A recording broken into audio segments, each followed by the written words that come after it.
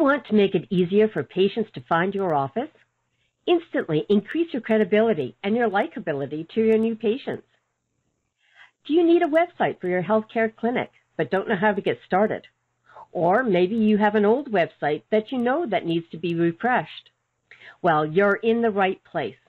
Today, our interview with Kyle Loranger with six steps to select a website designer for a small health professional website in 2018. My name is Jean Eaton, your practice management mentor with Information Managers and your host for this Practice Management Nuggets webinar. In this 30-minute webinar, Kyle Loranger will help you to understand how to select a website designer for your healthcare practice. Over the last 20 years, Kyle Loranger has worked with hundreds of clients to deliver impactful, effective communications and marketing solutions. From logos to advertising, publications to websites, he has delighted his clients with the clarity that he brings to every project. Kyle, this is a great way to start off 2018. I'm so delighted that you've joined us today. Thank you for joining us. Hello, nice to be here. Kyle, you've been in the marketing and business for uh, some time. We've worked together on website designs. So tell me a little bit more about how you got into doing website designs. Well, I've been a graphic designer here for over 20 years, and originally we started doing logos and print work, and over time I saw the writing on the wall, the world is going digital, I need to get into website design. Um, so 15 years ago, we started doing uh, just web designs for website, and then over time, we've been pulling that more and more in house. Um, so today, we design and build websites all in house here with our small team, and we do it for small businesses, medium-sized businesses, uh, associations. Um, and we help meet their business goals and needs and make sure that we're a good partner for them when they need to make updates and changes and they can rely on us to help keep their websites all up and running. Okay. You're right. We are certainly in a digital age, and even if we're not selling widgets, um, we've got a service or providing uh, a presence in our community. We still need to cross over to the dark side and make sure that we have a digital presence, even when we're talking face to face with our patients and our clients in our local businesses. It's true. Um, at one time, you could just put an ad in the yellow pages, and that was all. That was your entire marketing strategy and budget for the year. But now that really isn't an option, and now you really need a website to be your uh, the public face of your practice. Um, and anything, any marketing that you do is going to be directing people to the websites, whether it's your social media, whether it's print advertising, any you know marketing promo items you do will all have your website on it. So your website really is the you know, one of the first points of contact that they'll um, that a patient will have with your with your business that's a great point, and we want to be able to make sure that our, our patients can find us, and not only just our patients, but other healthcare professionals. So if you're working in a practice and you need to refer to somebody else, the first place that your staff are going to go is on the website. So you need to make sure that the patients can find you, but so can all of those referring partners. One of the great things about having a website is how is having it so you can position and distinguish yourself versus other people in the same industry. So if you are a uh, if you're a dentist and you have you do a certain kind of work as a dentist, you can advertise that on your website, and um, uh, it helps distinguish you from other dentists who do different kinds of specializations. So when someone is looking for, I'm looking for a pediatric dentist in this such and such area, then you have a greater chance of coming up for those sort of sort of searches. You're not just general dentist who does whatever. You are a de- you're being found as a dentist who is in a specific area and does a specific kind of practice. Right. So most of us working in healthcare are really good about what we do in healthcare, but we've never designed a website before, and we really don't know where to get started. This is certainly the pink elephant in the room. Um, now, every practice has a pink elephant. It's that problem in your organization that just never quite gets fixed, or you've created workarounds, or you promise that you'll get to it someday. Or if you're a new practice that's just getting started, you know it's something that you need to do, but you really just don't know how to get started with it. Kyle, please tell us what do healthcare providers and clinic managers need to know about selecting a website design for your healthcare practice? What is your number one tip? My number one tip for selecting a website designer to help you build your website is to make sure you meet with them before you ask for a proposal. And the reason why I said that, we're going to get into that with our six steps. I'm going to explain why that is and how you can find a website supplier that's going to match what you need for the budget you have and get a good result that's really going to help your business grow. So, Kyle, I'm I'm really surprised about your number one tip. We're not talking about technology. We're talking about a relationship. We are, yeah. I think it's more. It's so important to start that relationship right because that's going to be a, a partner you're going to work with for a really long time, or you could work for a really long time, and that relationship really trumps budget, really trumps a lot of other things. Because when you work with someone really well, you're so much more open with them. They're so much more open with you. They can be a lot more flexible with you, and they they're also you also have a really good feeling that they're listening to you. So that means you're going to get to a result and a solution faster than working with someone who may be cheaper, but maybe they're not listening, maybe they're not as good, maybe it's kind of frustrating. But when you have that really great relationship with your supplier, then you are things get done so much faster. They know you better, trust them more, and you can really focus on getting meeting your goals and do it in a way that's a really enjoyable process. So it's it's so important to do that because in this kind of business, so many things can go wrong, so many frustrations can happen, and if you can find a relationship that minimizes that, then you are so ahead of the game. That's a really important part. There are many things that we can do in our life in our businesses that is online and it doesn't require a relationship. If you need a widget, you can go online and get the best price for, for that widget. But you've made a really important point that we're building a relationship not just to do the website today. It that is, becomes the foundation of the way that you're going to continue to market your practice for as long as you're in practice. So buying locally, developing that relationship locally, and and developing a process that works for you that reflects your best practices makes a lot of sense to me.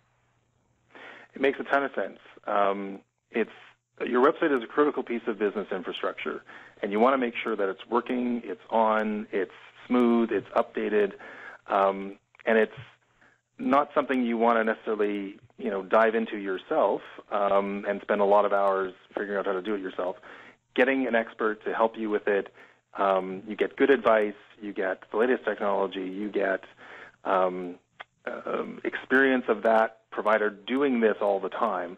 Um, I'm always a, uh, proponent of when you have to hire someone to help you, hire someone who does that, who does that thing all the time because they know the pitfalls, they know the the fast solutions, they know where the good value is, and they can deliver that to you. Kyle, let's get started. You've got six tips about selecting a website designer. What's the first thing that we need to do? Well, let's define what we're talking about. Websites are so broad. There can be a massive website, there can be a small website, there can be something that has all kinds of bells and whistles on it, and something that has so just the bare minimum. And so, um, what what is it that we're building? What is it that really makes sense? Um, so let's define who we're talking about here first. Um, you're likely a health, uh, health practitioner in an office of maybe one to ten people. Um, you may be starting up, or you might be in business for a while. Um, you might not have any web presence at all, uh, or your web presence is outdated and was maybe built more than four years ago. Um, your old website um, may not have been built to be responsive, which means it looks good on tablets and phones. Um, and maybe your old website needs to update its styles and uh, maybe look more modern. Um, and sometimes um, practi- uh, health practitioners say, well, you know, my website's up and it's looking fine. Um, but really, to the younger people, maybe the younger potential patients, they you want those people to look at you and say, "Yeah, this this is an awesome place, and I want to you know explore further and make make make that call." For those younger people, they notice right away if your site is is outdated because they look at these things all the time. They might look at your site and say, "Oh, this is totally outdated. I don't want to work with this person." Um, so they make that snap judgment really quickly.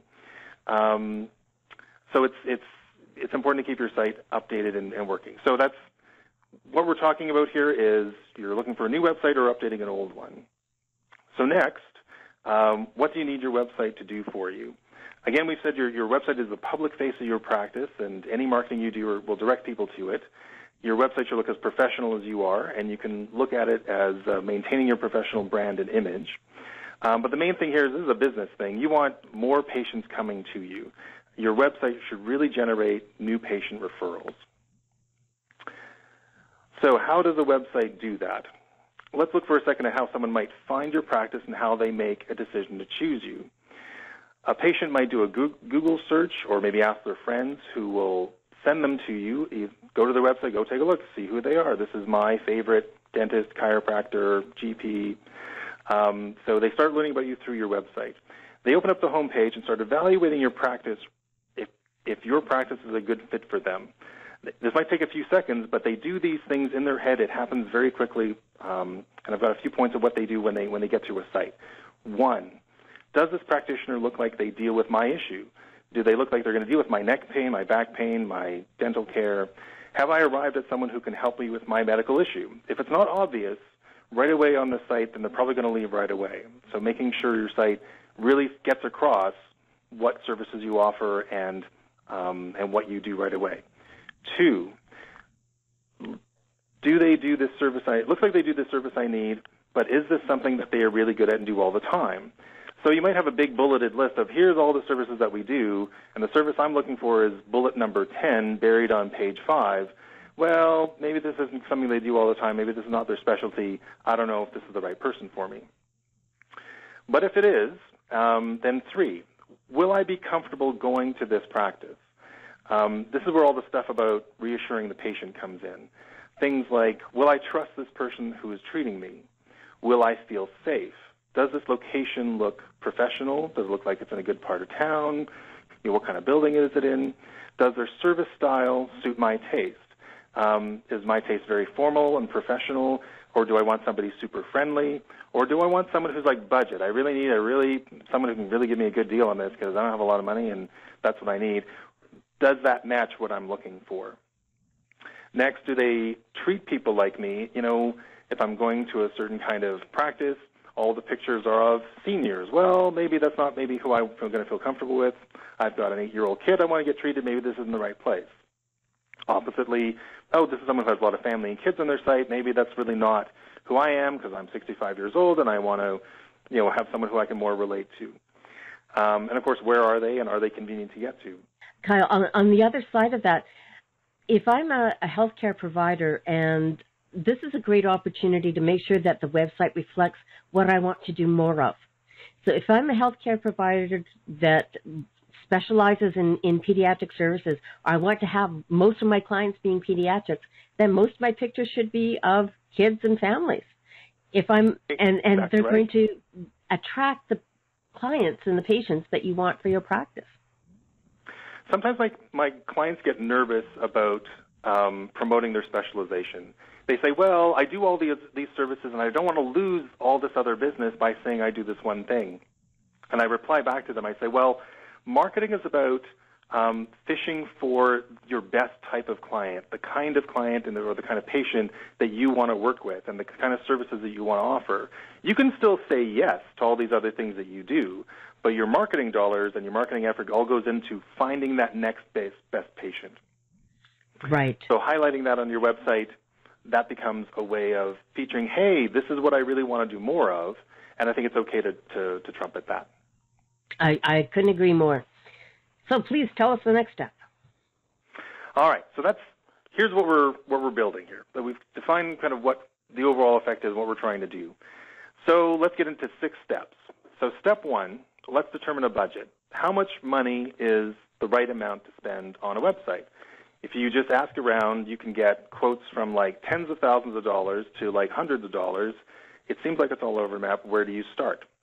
Well, um, if you and here, here's the problem going going into setting a budget. If you underspend, you get a cookie cutter site. It'll look plain, and chances are it'll be based on an older template and look dated right out of the box. And if you do a super cheap site, there'll be nobody around to support you. If someone goes wrong, uh, no one will be around to help fix it quickly. On the other side, if you overspend, you'll get an amazing site, but really for a small office, that really isn't an option. Um, you're not going to start spending all this money on something you can't afford. That doesn't make sense. So, how much is appropriate to spend on a small website? Here are some uh, ballparks to give you a sense. For our studio, $2,000 would be the bare minimum to get a site up and running with a few pages. $3,500 would get you a nicer looking site with more content, and $6,000 would get you a site with more content about your specializations, more galleries, more features, and articles about your specializations. $10,000 we get you a site with more features and more custom design pages. Um, so it gives you sort of a quick broad ballpark of what we're what we could be looking at. Um, in a business context, uh, if you look at what you spend over a year, um, you know, if you spend maybe one or two percent of your annual revenue on marketing, that's not unrealistic. Would you agree, Jean? I, I think that's a, a very reasonable budget price, one to two percent of your annual revenue. So if you have a small practice that's doing three hundred thousand a year, one percent of that is three thousand dollars. Um, if you spread that over two years or two and a half years, that becomes six thousand dollars. That's a pretty affordable equation, and that can get you a site a very nice looking site, very professional, very current, and very custom to you and your branding, which is, I think, an important thing as well. So there's a, a, ballpark and and a budget for where it comes from and how to how to get to that number. So Kyle, I want to jump in here for just a second. Sure. Um, one of the things to remember when you're when you're costing out the the website is all of those pieces that go into the website that you're going to use for other purposes. So you're going to um, get some artwork, get some some logo, and get some help to make some decisions about what your image is going to be, so that you're going to um, recreate that on on your business cards and your letterhead and your signage and and all of that sort of thing. So it's just not just having a website; it's that whole package deal, isn't it? I'm nodding as as you're talking. Yes. Um, in a perfect world, uh, if someone is starting a new practice, we would say, let's do a logo first, and then let's do an overall look for your business. So how that logo gets applied to all your materials.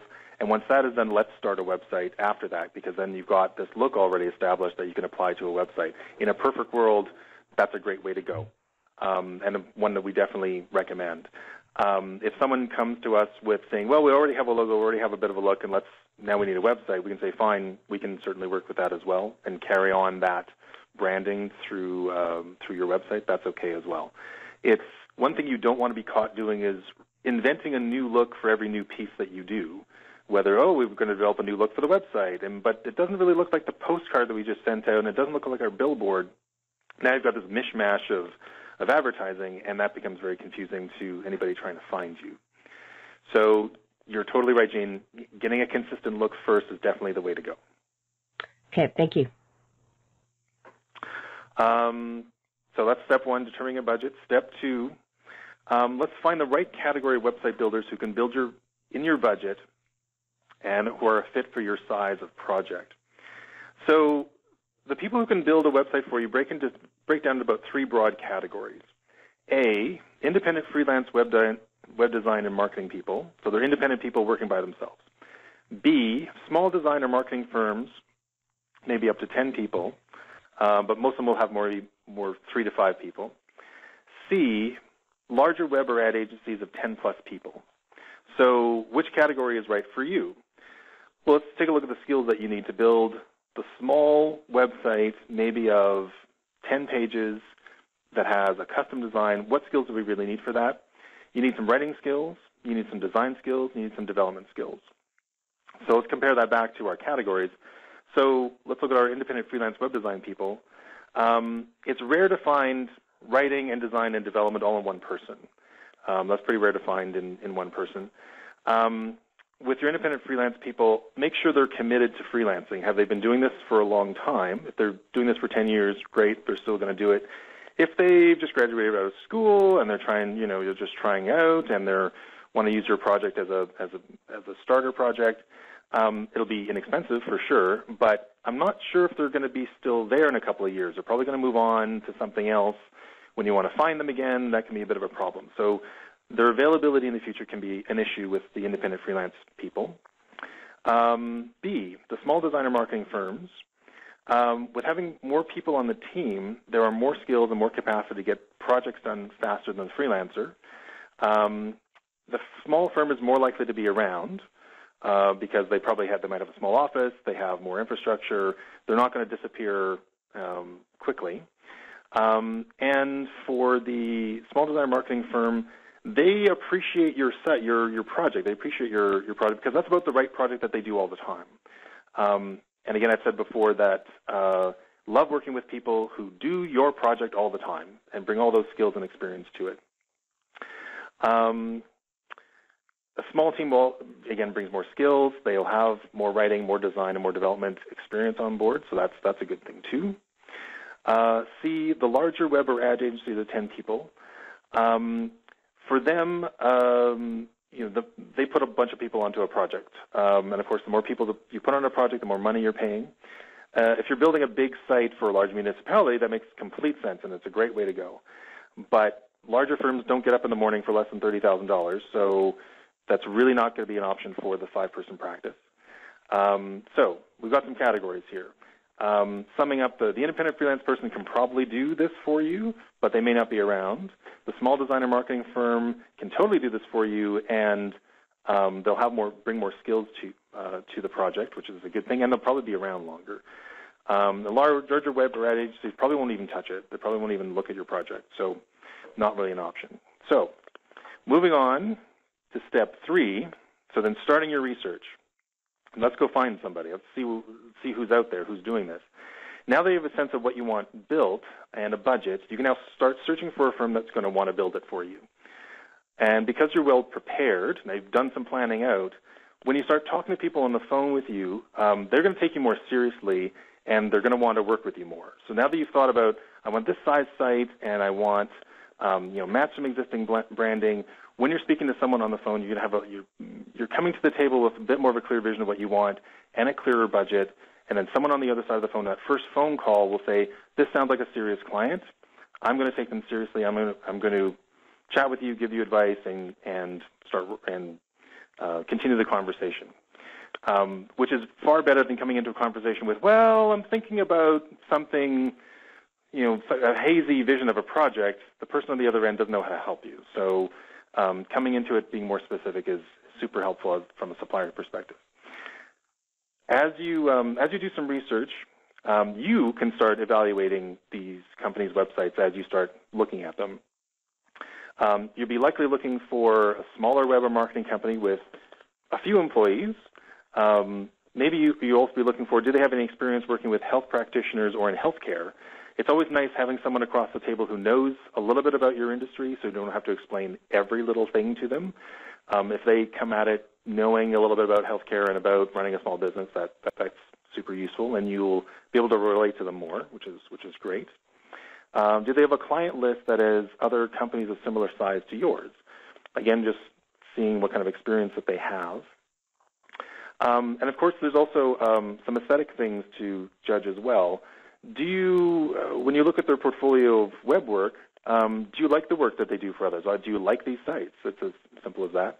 Um, do you like the tone and style of their own website? Do you like the way their website speaks to you and how you click through it and delivers a good experience? Um, do they have any uh, evidence of satisfied clients? Do they have a couple of testimonials on their site? Do they have anything that says people are really happy with uh, with who they are? Maybe it's a BBB rating, maybe it's uh, happy testimonial, maybe it's case studies of work. Do they have anything on there um, that fits fits with you? Uh, when you have a short list of companies, call them and get a sense of what are they like to work with and how much they know about your area of practice. Do you like speaking with them? In the first call, get a sense of what kind of budget range they are recommending to you. Um, it's always nice to get some kind of ballpark in that first phone call uh, with the supplier. They should be able to give you something. Nobody wants to give you firm numbers over a phone, but they should be able to say, okay, we're talking, you know, I've got a budget of $5,000. Are we still talking? Um, and just get that out of the way early on. Um, or if they say, well, yeah, we're thinking $25,000, are we still talking? And you say, well, maybe not. So get that out of the way early on so that you can move on and find someone who's going to be right for you. So it's really important to be able to, to do some homework before you uh, contact some web designers. You need to spend some time, you yourself personally, um, as, as that healthcare provider or that clinic manager, to get a sense about what type of image you want to portray to the public and your future employees and your referral partners about what you want to do in a practice and then try and work from that so that your website and your marketing reflect what it is that your business is about. Correct. Um, one of the first steps that we usually do with our web clients is we look at let's look at a bunch of other websites in your industry. So if you are a dentist, let's look at a bunch of other dental uh, websites and then show them to you, and let's have a discussion about what you like and what you don't like. Um, just early on, just getting a sense right away of uh, what's like. We find, um, you know, if you ask somebody, you know, oh, what colors do you like? Oh, well, I like this color and that color. Okay, but if I put something in front of you, we get a reaction right away. Oh, I hate this. I love that. Great. That's fantastic. This helps narrow down uh, our design choices, and we get a, a, much clearer sense from you right away what, what it is that you like and don't like. So it's a nice step to take in the, in the process. Okay, thank you. All right, so now that you have narrowed down uh, the suppliers you may want to talk to, um, meet with them if you can. Um, you, narrowing this down to maybe two or three would be a good thing. Good thing to do. Um, meeting with them is so important uh, because with sourcing creative services, I find building the relationship is the most important factor. When people trust a supplier, the price becomes much less relevant because they're getting the services they need that solves their issue. When when a client is really happy, they're happy to pay for it, and when and they'll they'll pay they'll pay a, a decent amount of money to get great service, and when they get not so great service or it's a frustrating process, they want to penny pinch everything all, all along the way because they're just unhappy with the value they're getting. Um, so a good relationship means you're going to get better value. That's what that means. Um, a good relationship with a creative supplier means you are comfortable with their process, you're comfortable with speaking to them, and ultimately you're going to be very comfortable with what they're going to create for you to represent you to your patients. Um, it's a very funny thing to hire somebody else to make an image to represent you to somebody else. It's it's a very it's a very personal um, thing to do, um, and you can you can see how much trust you have to have in this other person who's going to make such a big difference for you in in your business. Because um, there's so many personal preferences that can come into play, and that person has to get to know you, um, figure out what personal preferences are really the important ones, and reflect that back in the work that they're that they're giving you. Um, so it's it that relationship is so so important. Um, so the uh, the initial design and build of the site will take maybe six to eight weeks, depending on how the process goes. Um, and this, these people are going to be your go-to people for updates, for content, and for software. So you're going to want to choose someone that you like and will be happy to work with for for years. Um, so that's step four, meeting with them. Um, and even you know, very quickly of meeting with them or even having a, a, a deep chat with them on, on the phone, you'll get a very good sense of like how much they want to work with you, how much they know. Um, this is more of a, an investment of time, but it's it's a really important investment of time to get the supplier that you that you want, and it's and it's worth it. Um, it can make the process go so much better. Um, step five: uh, get estimates and proposals. Um, once you've met with them, you probably have a pretty good sense of, of yes, we've got the the right kinds of people to work with. And now let's get this down on paper. Let's see what they're really going to do for us, what the what the real dollar amount is going to be. Um, so if you're if you're stuck between a couple of them, getting a proposal from each will help compare the two more objectively. Um, now, I want to want to emphasize here: it's only now, after you've done your research, after you've met with them, now get the proposal from them. Um, you know, if you if you decided at the very beginning to send out a shotgun of pick 20 firms and send out, you know, 20 requests for proposal without really defining what you need, it might have been a waste of time for everybody. Um, desperate firms would guess at what you wanted and, and underquoted. Large firms would quote a huge package of services you can't afford. And the qualified firms that maybe were the exact right fit for you might have just completely ignored you because you didn't sound like you were serious, didn't sound like you were organized, and it may not have been worth their time to reply to this RFP going to everybody in the world. Um, so it, but at this point, now that you have this so narrowed down, the proposals you're going to get back are going to be very tailored to you, very meaningful for you, and, and fit your needs and requirements very, very tightly at this point. Now that's a good use of time for everybody involved, for the supplier and the practitioner. Um, and you can get really worthwhile proposals that actually fit what you what you need. Um, so looking at these proposals, you know, you want to evaluate uh, obviously what they're going to do for you, how what their process is. Um, you know, you can look at their portfolio and experience on the team and, and that sort of thing. Um, you know, some other things to look at in these proposals are um, can and even in meeting with them, are they explaining themselves well? Are they explaining website terms and processes and their software and their technology in ways that you're comfortable with and you understand? Um, are, this conversation isn't about technology, but you do want to make sure the person across the table from you is explaining things in, in a way that you are comfortable with and you understand, and they're answering all your questions that you may be having as you as you go forward. Um, you know, as a health practitioner, you don't deal with web servers and web technologies and domain names all the time. They do. And are they explaining things well enough to you that you feel comfortable with and you feel like you have control over the situation? Um, that's what they should be doing there.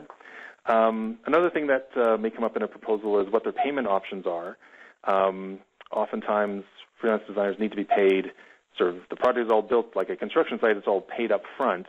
Um, but others may have payment options. They may be able to take your um, the lump sum payment and spread it out over maybe a year or two, uh, or turn it into a monthly subscription or something like that. That might help um, from the business side, helping to afford a larger website and get you the site that you really need, rather than only spending you know what you can afford this month, um, which may not get you everything that you need. Um, so getting working with someone maybe has some payment options might help you uh, spread that out if that's something you need. All right. Any thoughts about that, Jean? No, I think those are, are great points. You've brought some points, Kyle, that somebody may not have thought about. The relationship is a really big thing. This really is that you know, part of your crown jewels for your business. So I strongly believe that you want to make sure that the, the vendors that you're working with that are going to manage your crown jewels are somebody that you should be able to, to see and go to their their their place of business and, and make sure that they're a reputable, reputable organization. So having uh, a local somebody to help you with that, I think, is a really key piece. I think it's really important to remember that this is something that you're going to um, help build your your business for the next two or three years. Now, technology changes and you can refresh your image. Um, if you find that you've got an image or a brand or a color or font style that you thought was really great and you find out later it wasn't the right choice, that's easy enough to change. But you need somebody to help you make those decisions. It's, it's a lot of decisions to get started with. And um, having somebody who's experienced, who's got lots of practice, and can see that long-term picture for you is really important to be able to build that, that relationship with. Um, so you're, you're and, and working like with. I was just going to say that it's so nice to be able to, to meet with someone in their office and have them walk through a website. So there's so many moving parts and pieces on it. Um, chatting about it's harder to do over the phone. Um, it's so nice to be able to sort of sit in front in front of a machine with somebody and, and go through that and point at elements and say, well, can we fix this or this is what this is going to do, and it, it speeds up the process and makes it more more enjoyable. And you understand it better. Yes, and then you have confidence moving forward. Like, oh, what did they build for me? Oh, right, we talked about this in the meeting. This is what it was going to do fantastic. Um, right. There are so many options of how a page can be built and what can happen on it that um, it's good to to sit down and walk through it with them. Um, we'll walk through it together as they discuss. Well, it can do this, it can do that, it can be shaped this way. This can happen when the mouse rolls over such and such. This link will take you there. Um, showing all that live and in person is a is a great way to really understand what's happening with your site. And there are so many bells and whistles and technology and plugins and, and all that sort of thing to choose from. To make a decision on your own without somebody, an expert to help you with that, is, is really challenging. Now, we're not talking a lot about technology in this interview, um, but one thing I want to make sure that many healthcare providers look at the functionality about engaging the patients with their, their website. And that's an important purpose for a website. But one of the things I want to caution people with is the online booking. Um, many websites offer an online booking for the patients, and patients want it. Patients are more engaged in digital health than ever before from all age groups. There are a number of studies and that have been done that show that 98% of patients would prefer to be able to interact um, with the office of their healthcare provider um, than using digital tools like website and online booking rather than making um, a phone call to the clinic. So we need to be able to offer that option. So if you're looking at online booking, make sure that you are using a secure um, application to be able to do that. Most electronic medical record systems now have an integrated online booking. So it looks like it's on your website, but it actually stores all of the data on your secure electronic medical record.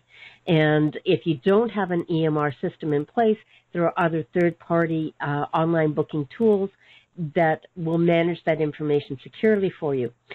So that's web, different than being on your website database. So I have lots of other articles, and we'll put them in the, Learning Resources Guide about how to engage patients with online booking and emails and some cautions.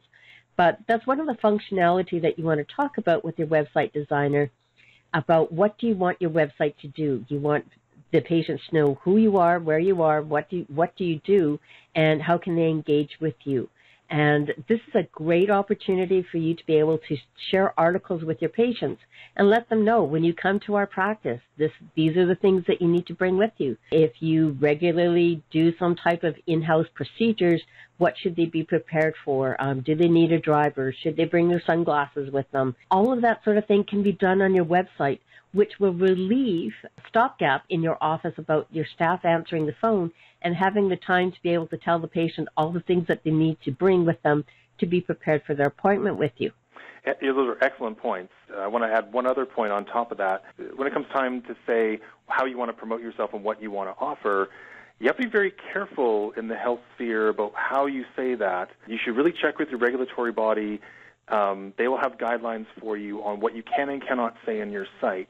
If you're say you're offering, you want to offer a special deal or a package of services, your regulatory body may say, "Whoops, no, you actually can't do that because it's against uh, against our guidelines." Um, so do check with your regulatory body first before you start offering some of these deals, so that you don't run afoul of that. You don't need that.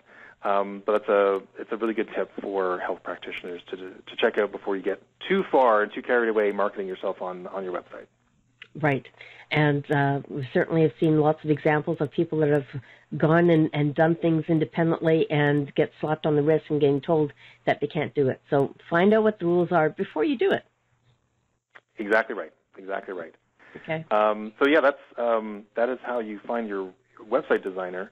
Um, once you start working with them, step six. Once you select your web firm and you start working on them, um, I want to say that you want you should expect steady progress on your projects. Um, there should be weekly updates or weekly meetings, and your site should be done in maybe four to six weeks if everything's going well. Maybe a little longer if you need some longer time for approvals. Um, but that's a realistic timeline, and you should sort of see steady progress. Um, sometimes I hear stories about, oh yeah, my website's designed, been working on it, and it's been six months, and they're still working on it. Like, well, that's that's awfully long. What's what's going on there? So make sure that you are they are working on it and things are moving and progressing forward. So uh, just a little expectation of what you can what you can have when you start working with a with a web company. Okay. Um, having a, a, bit of a timeline to understand how long this is going to take for you. Um, when you first get started with your practice, you've got many things that you're you're spending time on and you're being concerned about. So knowing how long of a time it's going to take to get your website in place is a great way to help you with your project management and we've already talked about the budget piece, which is super useful. What are some other tips, Kyle, about what should you expect to receive from that website design process?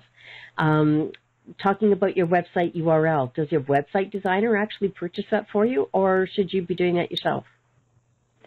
Good question. Uh, we like our clients to have control over their own URL. So if you is so if it's jeaneaton.ca is your is your website address, um, we like for you to have control of that. That domain URL controls all the traffic that goes to your website, goes to your email, and any other properties associated with that URL. It's nice if you have control over that, um, just in case, you know what, I want to move the website or I want to change the email provider. Um, you always, by having that URL, you have the codes for that and you have complete control over that. If it lies with someone else, with web person who we hired five years ago and they have the account and we don't know where they are anymore, whoops, now you don't have control over that URL anymore and now you're stuck. Now you have to you go through a whole bunch of different process to get get that control back. So if you if you keep it, make sure it's under your name and you're paying that domain registration every year just for that domain, then that's fantastic. Um, and just to be clear, your your web domain, your website hosting, your email hosting are all three separate things. Sometimes they, they can be lumped together under one service, but they are actually three separate things, and they don't all have to be at the same place. So your uh, email services might be with Microsoft 365, your web hosting might be with your web people, and your domain may be hosted with GoDaddy or with, you know, with CIRA, um, and that's and that's totally okay. That's that's totally all right. Making sure you have control over that, you know where it is. It's really important. It's a critical part of your business infrastructure, and you don't want to just let somebody walk walk off with that on you. Absolutely. Um, that's part of your your crown jewels for your business. If you lose control of your website URL, you've lost your email, you've lost your uh, online di- digital um, persona, and you don't want to do that. So that should be considered part of your, your crown jewels.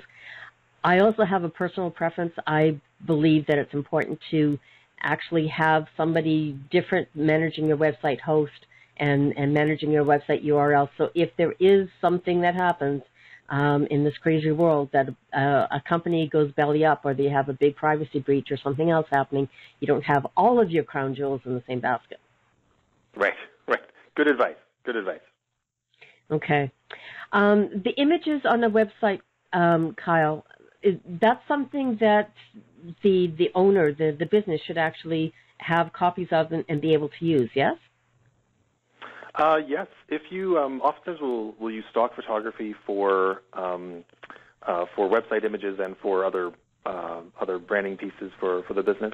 Um, if you can make sure when those um, stock images are bought, make sure they're licensed to you rather than licensed to the firm if you can. Um, if they're licensed to your business, then you can use them in multiple pieces. Um, but if they're licensed to the, the designer, then they can use them in multiple pieces, but doesn't really help you. If you want to have the freedom to um, have those images on and use them in your Word files and PowerPoint and whatever, make sure they're licensed to your business and not to the designer. That way, the uh, the stock company says, "Great, you're the, you're the license holder. You can use them on whatever you need to for the royalty-free images." It's a typical way of licensing them. Um, if they're licensed with designer, then you don't have the right to use them everywhere else, and you might get caught up on that. I've never heard of anyone getting caught on that, but uh, if you want to live to the letter, letter of the of the license agreements, make sure it's under your name. If you've got more questions for Kyle, you can enter them into the chat button or in the question and answer button, and we'll uh, reply back to you by email. Kyle, this has been super useful. You've given us some great information about how to select a website designer. You've given us some really helpful points about what to expect in that relationship, how much time it's going to take from us to be able to do it, some ballpark figures and some timelines which are really very useful, and I want to thank you so much for that. You're very welcome. Okay, now you've also got a very generous offer for people that are part of our webinar. Um, Kyle, would you please tell us about your offer? Sure. What we want to do here at Kyle Loranger Design, we wanted to offer something to listeners of, of the podcast. Um, so what we're offering is $500 credit towards the redesign or rebuild of your next website. Um, if we estimated it at more than $3,000, we will give you this credit um, of $500 on your next project, which is that's pretty substantial for a uh, for a small website. So that might spur you on to uh, maybe have a chat with us, and we can see if we're a good fit for you, um, and then we can we can go from there.